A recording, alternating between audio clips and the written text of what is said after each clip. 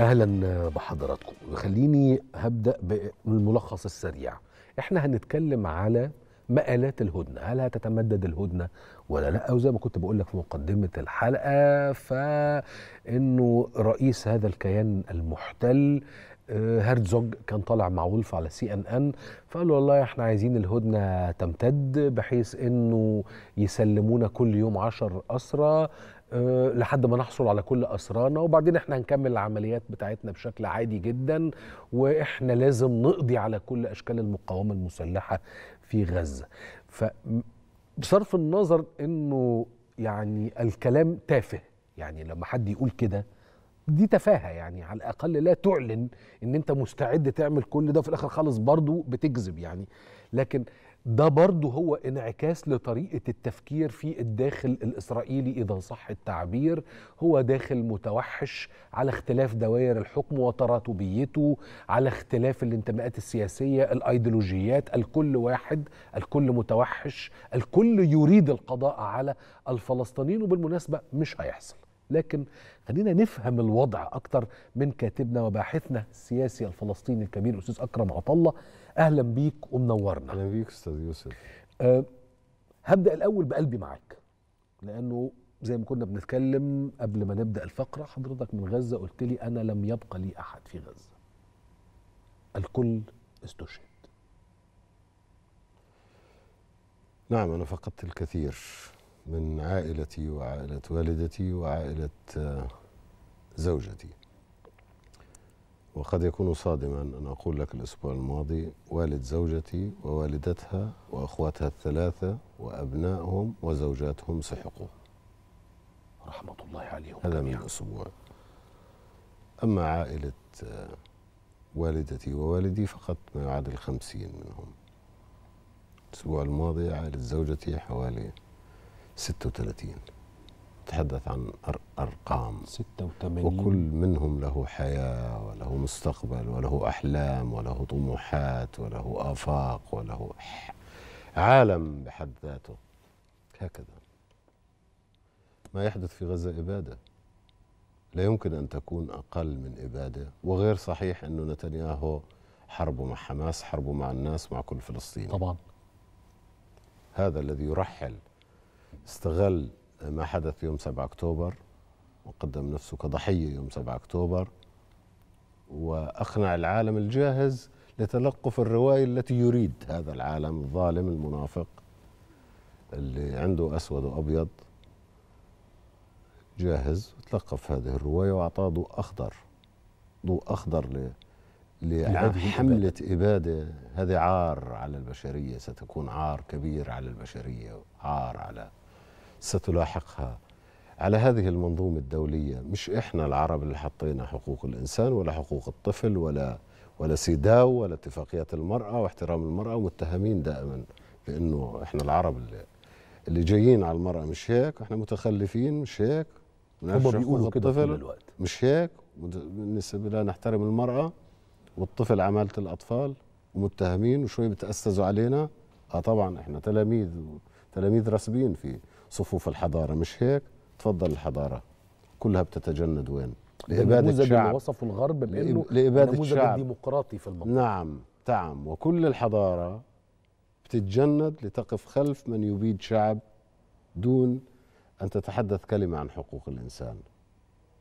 هذا انكشاف كبير لكل هذه هذه القيم الإنسانية اليوم هي اللي بتخسر. الشعب الفلسطيني بيدفع تاريخيا متعود طبعا. الشعب الفلسطيني وعارف إنه في ثمن كبير بندفع عارف إنه هو عارف مين بيواجه كويس وعارف إنه بدفع ثمن كبير وعارف ومؤهل يدفع ثمن كبير وبدفع ولديه إرادة بتكفي ل 100 سنة قادمة. شوف الدم اللي في الشوارع غزة لسه عنده احتياط عنده احتياط. أنا ابن غزة وبعرف غزة دفع 100 سنة قبل كده وما عندوش مشكلة. ما عندوش مشكلة و100 سنة جاية.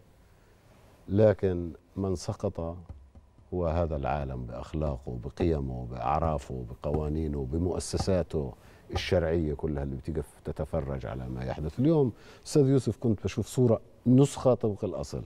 1943 حفرة جماعية كلها جثث وأكفان لليهود في ألمانيا.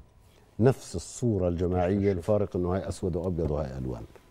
نفس الصورة 2023 1943 العالم كله بيحتاج لما يحدث في أي منطقة في العالم؟ تتذكر أستاذ يوسف مؤكد حضرتك غطيتها وانتقدت مذيع البي بي سي وهو بيقول الأوكران زينا عينيهم خضر. كثير كثير. في 5000 آه، أوكراني قتلوا في 500 يوم من الحرب. وفي 20 ألف فلسطيني ب 50 يوم قتلوا. 50 يوم. العالم كله أثير طبعا ضد القتل حتى الأوكران يعني حضرتك ضد وأنا و- ضد أي انتهاك للانسانيه لا حرام يعني وشعب وحقهم يعيشوا آه، زي كل الشعوب زي الشعب الفلسطيني. لكن بيهرع العالم كله بجند والمؤسسات الدولية ومجلس الأمن محكمة دولية وبرفعوا قضية وكذا. وعندما يتعلق الأمر بالفلسطيني الفلسطيني لأنه أسود يعني مش خضر. القصة قصة عدالة دولية. عموما حتى آه، الموضوع التهدئة هو الموضوع اللي الناس بتتساءل عنه بالتأكيد بدها إجابات. لا وأنا يهمني إنك تبقى واخد راحتك في الكلام وتعبر عن أنا كل احتراما لوقت برنامجك يعني قلبك احتراما لوقت. برنامجك ده حقك. عليا اولا. مهم يعني برنامجك وما آه هذا هو هذا هو هذا هو موقعنا. مهم نعرف كعرب. مهم معرفة العرب. يفهموا موقعهم أمام العالم مشان هذه المراهنات على العالم. مهم مهم هذا درس في التاريخ درس مهم. درس في علم النفس السياسي كيف يتصرف العالم. ودرس للعرب لما حدا يجي يتأسس عليهم بعد هيك مهم لأنه مارسوا. هذه الأستاذة كثير. إنه فيش عندك ديمقراطية. أهلين. إنه أنت لا تحترم المرأة. إنه في اتفاقيات سيداو في احترام المرأة. أنت مخترق قوانين. مش فاكر. مش أجوج أجو على اعتبار الديمقراطية وال طب وهي كانت مش ديمقراطية إنه لا مؤسسات حقوق الإنسان أنت بتضيق عليها مش هيك؟ أنا بضرب مثال بيكو القاهرة. إنه والله بضيقوا ع- يعني إنه أنت مؤسسات حقوق الإنسان أنت الدولة المصرية مش معطيها وبالتالي هذا مخالف للحر يعني بتعرف يعني على المسطرة بقيس لك الحريات. وكنا نصدق هذا الكلام مش هيك؟ إحنا كنا على وشك نصدق والله. آه مزبوط في دم بيسيل حقوق إنسان بتحكي عن حقوق إنسان. والعالم وقف يتفرج 50 يوم. آه وجاي تلاحقني على اتفاقية سيداو للمرأة. أنا الفلسطيني جاي تلاحقني على اتفاقية سيداو للمرأة. أنا بحترمش المرأة. وجاي تلاحق على عمالة الأطفال في اليمن. وجاي على مصر تقول له في مؤسسات حقوق الإنسان مش مقدرة حتى في الشغل فأنا حساس بهالموضوع يعني بقدرش أمرر نعم. والله. لكن كل والله. المذابح دي تمر مرور وهذه الكرام. كل حقوق الإنسان اللي بتقتل المرأة وبيقتل الطفل وبيعتقل وتضرب. المشافي والمدارس ويجوع ويعطش. شعب كامل. سمعنا عن مجاعات تحدث يهرع العالم بس عمرناش سمعنا حد بيجوع حد مر عليك سنوات أنت أستاذ إعلامي وبتغطي لسنوات. مر عليك تجويع بقصد في مجاعات بتصير وبيهرع العالم كلها. بس تجويع بقصد هاي أول مرة تمر علي. ده كان في عصور مظلمة عندما تحاصر الجيوش قلاع ومدن تجويع بغرض مد- التجويع مدنيين والتعطيش. تجويع لم مدنيين. يحدث في العصر الحديث ده على تجويع الإطلاق. تجويع. طب مر عليك حدا بالعصر الحديث بيقول ارحلوا ترانسفير تطهير عرقي من منطقة معينة؟ واحد بي- بي- بينزل منشورات وبحدد خارطة. وبقول سكان هذه المنطقة من الواد والشمال كله ير... بت- مليون قرار. يعني مليون. شفنا أنواع وأشكال من الاحتلال الكولونيالي لكن مسألة إنه أحتل الأرض واطرد واطرد شعبها الأصلي بالكامل. شو يعني بستأذنكم مليون ومية بستأذنكم تطلعوا له. هو نص نص منطقة. إنه والله أنتوا اطلعوا عشان أنا عندي عمليات عسكرية. كيف يعني عندك عمليات عسكرية؟ وطيبوا و- و- وبتجوعهم وبتضرب مستشفياتهم عشان يطلعوا وبتضرب خزانات المياه وبتمنع الأكل وبتضرب المستشفى وبتضرب الجامعات. والمدارس. والمدارس. وبروحوا بيهربوا المساكين في تج... في المدارس. بتقول هاي بتضربهم بال... في إشي يفوق الخيال في هذه الحرب يعني بتروح للتفاصيل أنت ب 2023 في عصر البث المباشر. العالم زمان. كله يرى ويسمع. زمان كانت بتصير الجريمة بعد شهرين. إحنا من الجيل اللي حضر مذابح الزولو والهوتو. اكتشف العالم لاحقا شو ما الذي حدث. مش هيك؟ بيصير في بعض مناطق في العالم. بس في 2023 في عصر البث المباشر في السوشيال ميديا. معقول بيصير هيك؟ جرائم حرب أنا بعد لك ترحيل السكان جريمة حرب. تجويع السكان جريمة حرب. قتل المدنيين بلا ذنب جريمة حرب. عندك جرائم حرب قديش؟ مش إحنا العرب اللي حطينا قوانين الحرب ولا إحنا اللي قلنا هذه تعد جريمة حرب. هم اللي عملوها مش وهم اللي إحنا. عملوا المعاهدات بتاعت مش جنيف إحنا. مش إحنا. مش إحنا. إحنا ما ولا صغنا شيء بالاتفاقيات الدولية. فأنا مستعد أمشي على معيارك. معيارك مش معياري. مش إحنا ما كتبناش ولا شيء إحنا ما كتبناش ولا شيء اجى الامريكي حطم أوروبا بالحرب العالمية الثانية وكان في عصبة الأمم وقال هاي عصبة الأمم سكروها بتاعت أوروبا لأنه ما قدرتش تمنع الحرب العالمية الثانية. هي تشكلت بعد الحرب العالمية الأولى.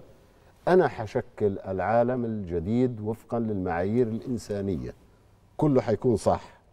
جاب خبراء قانون أمريكان أمريكان والعربي فيهم وكتبوا كل هذه الشرعية الدولية اللي أنت بتسمع فيها. وأسس مجلس الأمن اللي يعني معاييره أخلاقية عالية والأمم المتحدة ذات المعايير الأخلاقية العالية وكل ال- ال- ال- المنظومه المعايير اللي لازم نلتزم فيها إحنا التلاميذ العرب. شيء؟ وهم الاساتذه آه أنتوا الأساتذة. والعالم الحر. قلنا لك حاضر حاضر. طب بدنا نحاسبك على اللي أنت حطيته. أنت وضعته مش إحنا. ما سمحت لناش نبدي وجهة نظر حتى فيها. اليوم عندنا رأي في كثير منها. عندنا رأي بتتخالف مع شريعتك كثير من, الأشياء. مش مسموح لنا. وجاية علينا كثير في بعضها. وبتتخالف مع القيم الدينية في بعضها. ومع ذلك بنقول لك حاضر. حاضر يا يا أستاذ. طب التزم أنت بال- باللي حطيته أنت. شوف العالم مرات. طب من من الزاوية دي بتشوف مسألة الهدنة إزاي؟ يعني الهدنة بالنسبة لنا كلنا مصريين فلسطينيين عرب هو في النهاية إحنا حقن للدماء الفلسطينية. لكن وماذا بعد؟ لا وبدنا نقسم هذه الحرب عشان نقرأ الهدنة. هذه هدنة آه، مؤقتة آه، آه، لها علاقة بالضغط الذي تعرض الضغط المزدوج الذي تعرضت له الحكومة الإسرائيلية. ضغط من الولايات المتحدة الأمريكية لأنه عندهم مواطنين أمريكان. وضغط من الشارع الإسرائيلي وضغط الشارع هو الأهم. نتنياهو في بداية هذه الحرب قالوا له فأخذوا اسرى قال اعتبرهم ضحايا حرب. صحيح ده في الأول. دوش إياهم. الضغط الداخلي الإسرائيلي أثر فاضطر حتى بني جانتس شو قال؟ قال أنا 40 حس- عام في العمل. لا هذا أصعب قرار اتخذته بحياتي. يعني جرت إسرائيل إلى هذه الهدنة. كالثور اللي اللي رايح على المسلخ على الذبح غصبا عنها. لو قدرت تعمل شيء غير هيك في ضغوطات داخلية وخارجية ومش قادر تجيبهم بالقوة. مم. القوة اللي قال حنجيبهم صحيح. كل الشعارات وال اضطرت لعقد هذه الهدنة. أربعة أيام الوساطات اللي اشتغلت الولايات المتحدة كانت تضغط مصر كانت موجودة قطر لعبت دور آه، الأطراف تولد لها مصلحة مع جميع الأطراف أمريكية آه، مصرية آه، قطرية إسرائيلية الضغط الداخلي فلسطينية حركة حماس بدها تنفس الناس بدها تنفس في قطاع غزة. كل هذا شبكة المصالح التي التقت عند هذا الموضوع أنتجت هدنة. أربعة أيام 50 واحد في اليوم 12 ونص. 13 و 12 يعني 13 13 13 غدا 11 لأنه 13 في 3 39 غدا 11 بكرة 11 بعد ذلك هناك حديث قوي عن آه، آه، تمديد هذه الهدنة. نتنياهو قدم رشوة قال إنه إذا بتسلمونا 10 أيام نعطيكم يوم. يعني السعر نزل شوية من 12 ونص ل 10 هلا حماس لديها هذا على صعيد المدنيين العسكريين الملف مغلق حتى الآن. لم يفتح لا إسرائيل. ولا من قبل حركة حماس تتحدث عن الهدنة اللي بتسألوا كثير عنها الناس. لدى حماس حوالي 90 مدنيين. حماس والفصائل الأخرى. لا طبعا. لكن حماس هي اللي تفاوض لأسباب يمكن هي أكثر قدرة على التواصل بشكل سري أكثر قدرة على تأمين اللوجست لكن الجهاد الإسلامي عنده والشعبية عندها طبعا. عندها.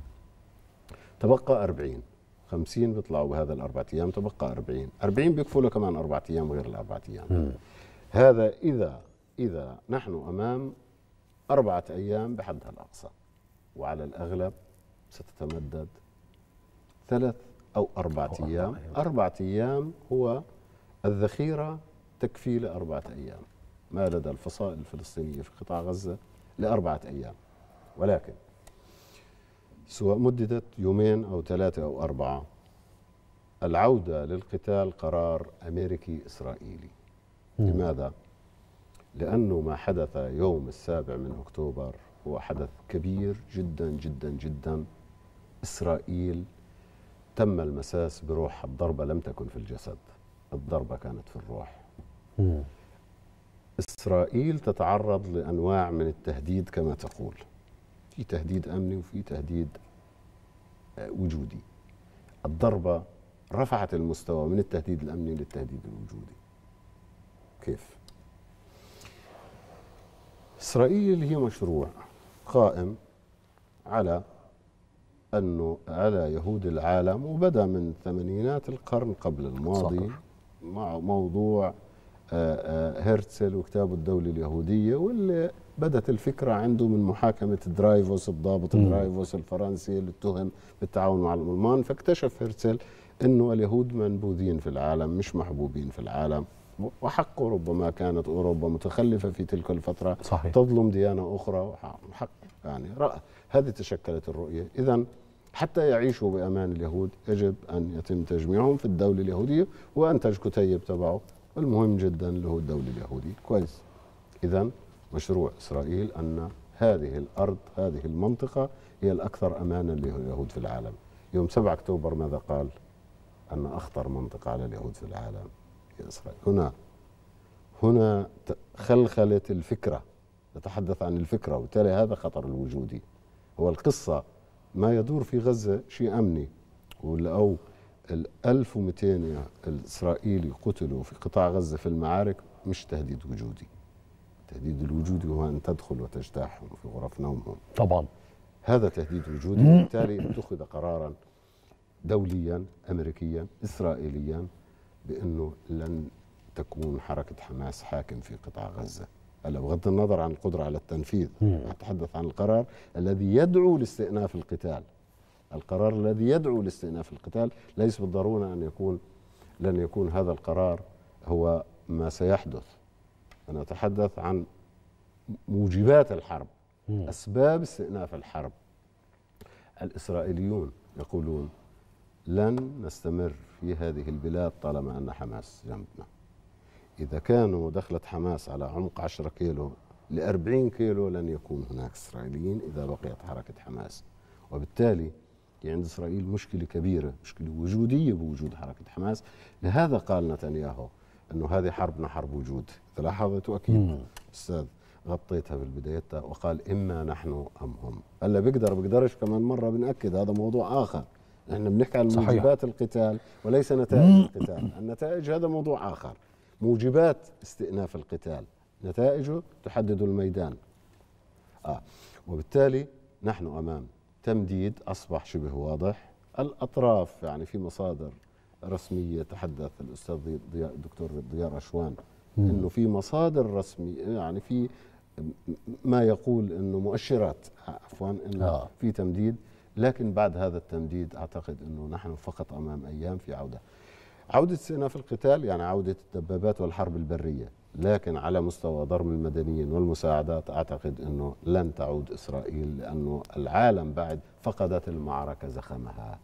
هذه التهدئة أفقدت الحرب الزخم الذي كانت عليه. طب ده كلام يعني يستدعي إن شاء الله يا رب سؤال كمان يعني أستأذن زمايلي. فقدت الحرب الزخم التي كانت عليه. هذا يصب في مصلحة أي من الجانبين. يصب في مصلحة حركة حماس والفصائل الفلسطينية. إسرائيل اللي عندها مشكلة بدها حرب مستمرة ودعم دولي مستمر.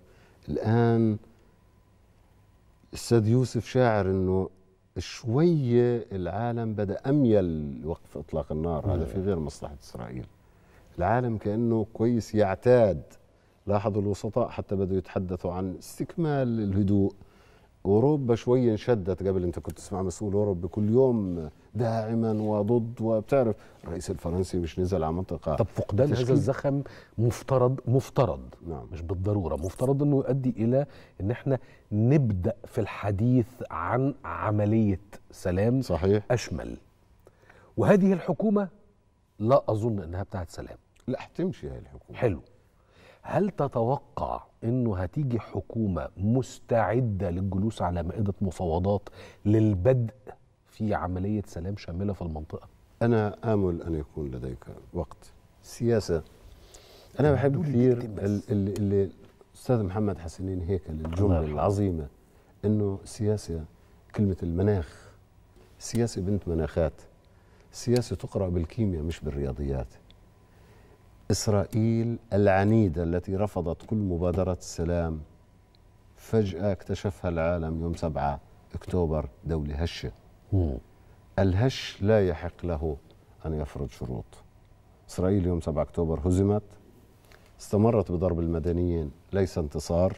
مش هيك؟ خلينا نتفق ضرب المدنيين ليس انتصار. طبعا. في الميدان قاعد موجود لم تنتهي الحرب إذا لم يحقق انتصار. لسه نتحدث عن هزيمة. المهزوم عليه أن يلتزم. إسرائيل لم تنتصر. إسرائيل مرتين هزمت هزيمة أمنية يوم 7 أكتوبر لما ضبطت متلبسة بالفشل. وإسرائيل هزمت هزيمة أخلاقية عما تفعل في طبعاً. غزة. والمهزوم عليه أن يلتزم. مرة أخرى بما بدأنا فيه لكن هذا العالم المنافق لا يريد أن يقرأ مجريات السياسة وفقا لوقائعها بل وفقا لارتباطاته المصلحية. اذا بما انه السياسة تقرأ بالكيمياء فعلينا أن إحنا نضع عاملا مساعدا.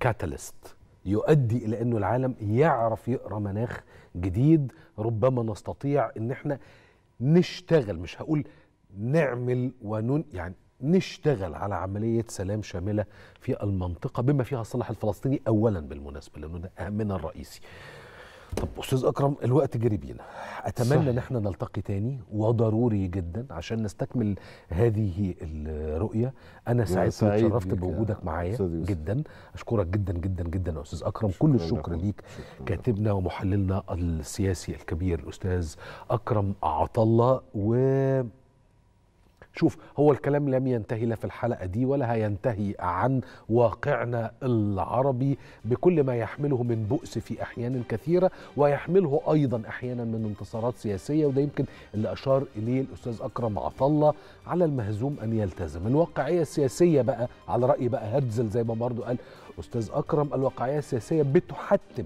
أنه تيجي حكومة لازم تقعد على مائدة المفاوضات. هي ما عندهاش طرف عدم الجلوس بالمناسبة وإلا هتجد في الأمور أمور أكثر فداحة.